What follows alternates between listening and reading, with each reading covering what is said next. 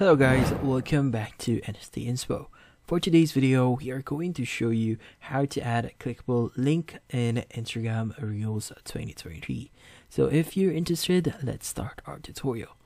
Now, the first thing that we have to do here is we first have to know if it's actually possible for us to add links whenever we create a reel on Instagram.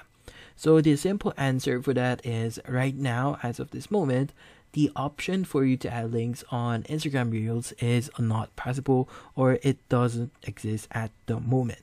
So if you want to add links or showcase links or if you want to redirect people into a specific website, then we'll have to utilize a workaround for this one.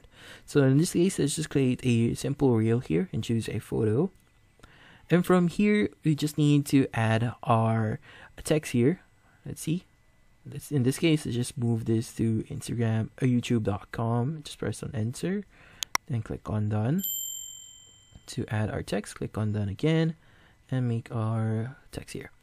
Now in here, we could just basically go ahead and click on the sticker at the top of our screen, and we could just add a Giphy here that is a for link. Here you have different options that says link in bio, click the link, link in bio. So currently the best thing that we could do right now is just add a sticker here that says link in bio and just basically design this one. Now from here, just click on done and start posting this one. Since we indicated in our post a link into our bio, we just want to go ahead and go to our profile here and we want to click on edit profile and from here, you just need to click on the add a link option that you see there.